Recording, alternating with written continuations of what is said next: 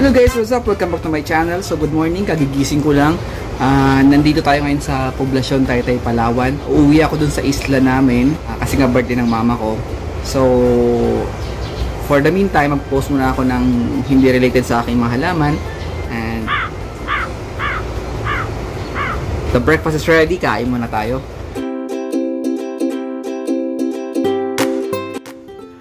After kumain guys at inaantay pa natin ang bangka, ikot muna tayo dito sa isang tourist spot dito sa Taytay.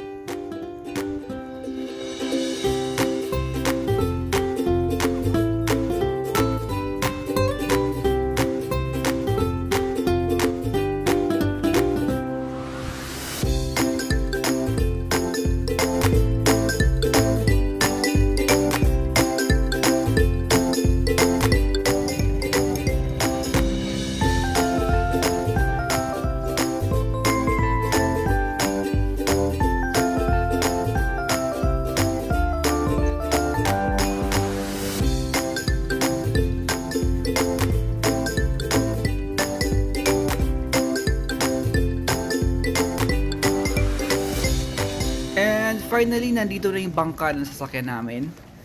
Medyo mahangin ngayon, so expect na natin na magkakaroon ng konting alon sa ating biyahe.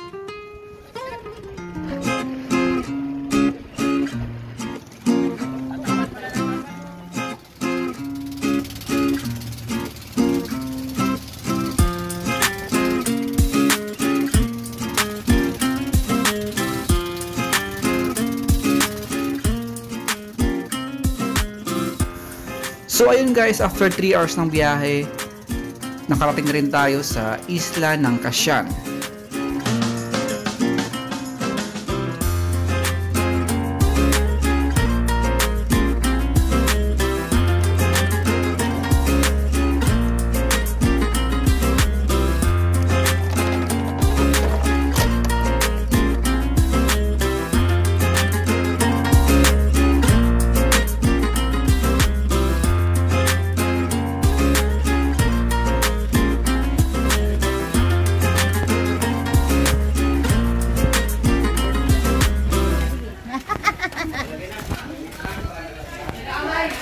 Ito na sila. Ay, Ay, puli ba ka sa school? Isa. Dan, ano rin kalama dyan? Isa kante.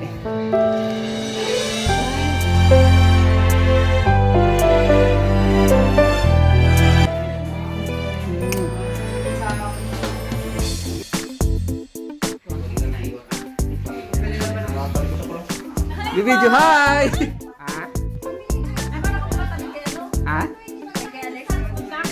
Ay, li- maga sila nag-alis?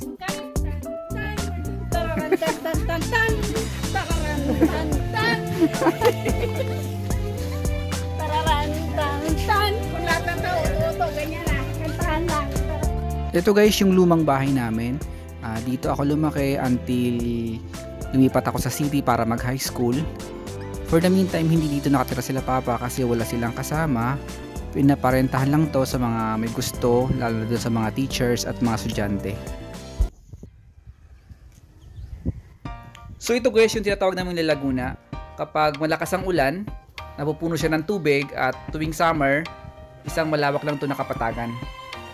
Ngayong malakas yung buhos ng ulan, marami rin itong mga wild ducks na makikita.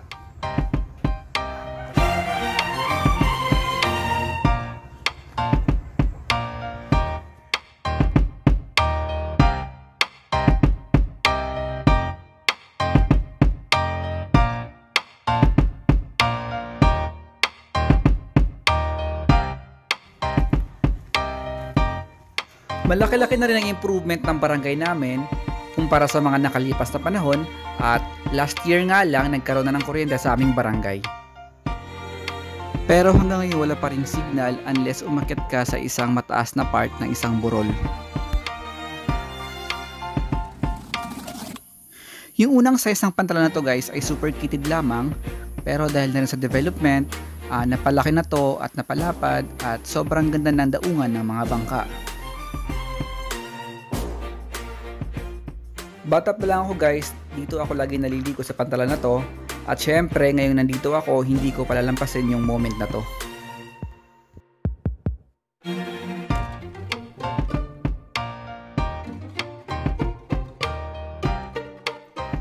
Masarap mag-snorkeling sa part ng pantalan na to kasi maraming mga isda at magaganda na rin yung mga corals.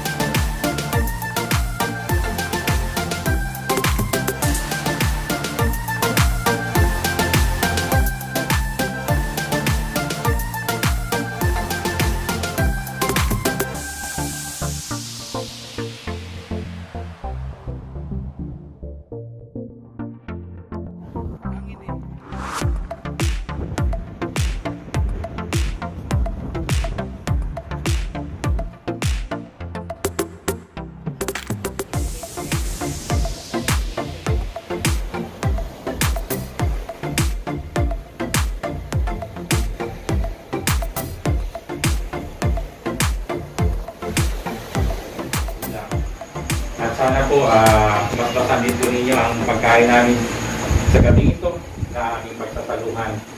Sa pangalan ni Jesus na aming pong Panginoon. Amen. Candle!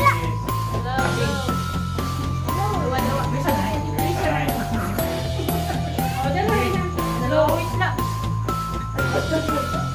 Yay! Ihito na